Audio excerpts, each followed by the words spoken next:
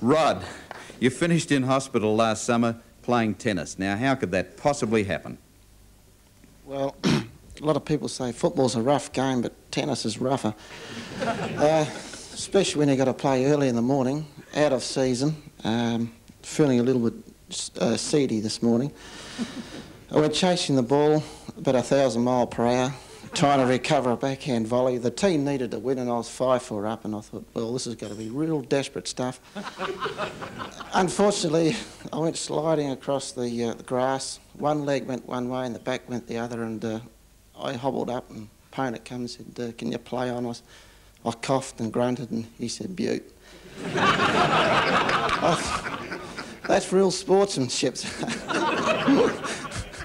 he, did, he didn't wait for another answer. They said, you beauty, we've won, and uh, I was off to hospital at Queen Elizabeth, but uh, they, were, they were pretty good there, and uh, I was only there for about four hours, gave me a couple of Bex tablets, and uh, I was home and feeling all right. But...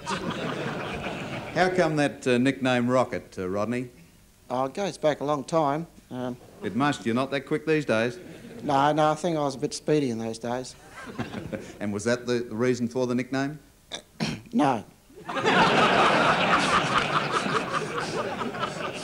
what was? I really couldn't say because,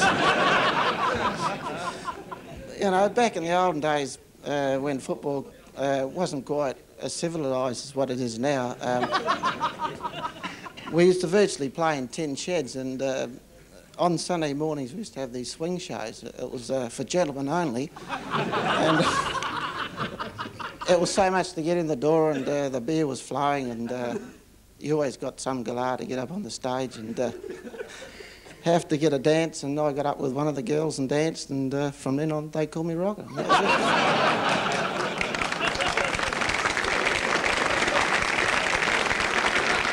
The last two votes are both Port Adelaide R. Ebert.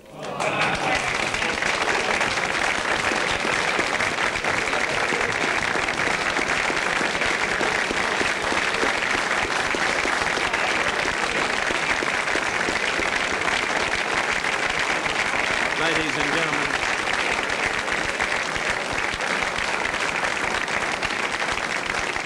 it's my uh,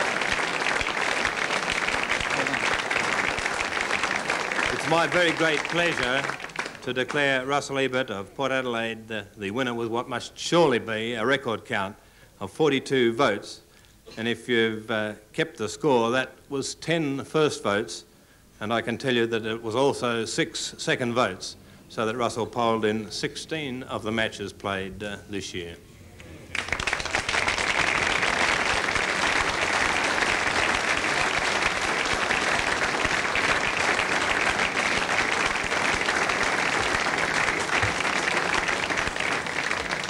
now Judge Brebner will present the Magarey Medal to this year's winner, Russell Ebert of Port Adelaide.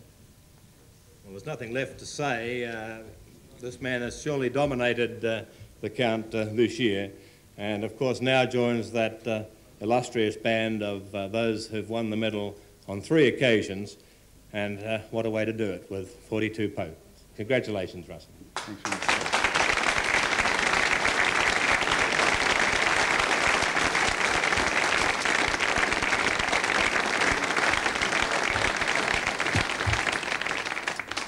Well, how does it feel, Russell?